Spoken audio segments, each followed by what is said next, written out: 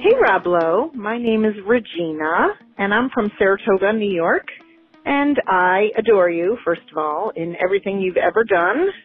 I am curious. I know you love animals and dogs, especially, and was wondering about Champion from Parks and Rec.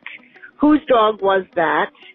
Or is that, if he's still alive, and I hope he is. And, um, it looked like you really got along really well with him. Do you still see Champion? Thanks, Rob. Love to you and your family. Bye bye. Oh, thanks, Regina. Oh, it's great to hear from you. Thanks for calling in. Yes, it was obvious, wasn't it? How much I love Champion.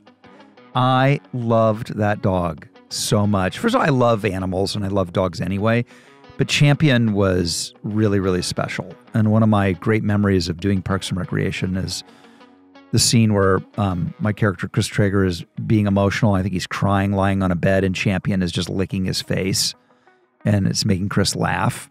Um, and we had to put, you know, the old trick: you put a little bit of peanut butter on your face, and the dog you know, wants to lick it off. Champion was so sweet, but Champion passed away last year, sadly enough. Um, and he was a trained professional actor.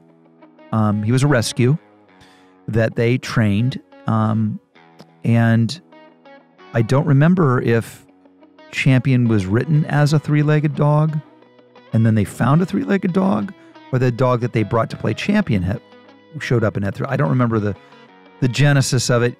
Um, but I particularly love a, I did a talking head in Parks and Rec with Champion. And in a Kennedy voice, I say, Ich bin ein three legged dog. and instead of saying, I am a Berliner or whatever Kennedy was saying when he said it, it said, I love this three legged dog. It's so stupid and fun. Uh, thanks for making me remember the amazing champion. Thanks.